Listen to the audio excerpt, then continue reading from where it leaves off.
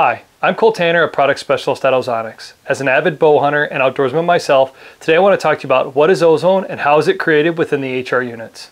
Ozone is a naturally occurring molecule that's created in one of two ways.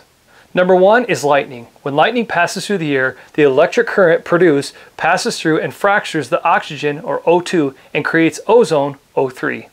Number two is UV light. Oxygen in the presence of 185 nanometers of UV light creates ozone. Both of these methods separate oxygen molecules to form ozone. Ozonics utilizes a process called the corona discharge method to create ozone. This is the same method that lightning uses to create ozone naturally. In an ozonics unit, the oxygen from the air is pulled into the unit and forced between the high voltage plates to simulate the corona discharge method.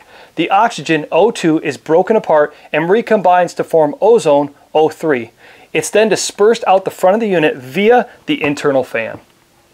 Thanks for watching our video today on what is ozone and how is it created within the HR units. If you have any more questions, check out our website at www.ozonicshunting.com where there's more great videos and information on other Ozonics products. Or feel free to give us a call at 979-285-2400. We'd love to hear from you. Thanks again and good luck hunting.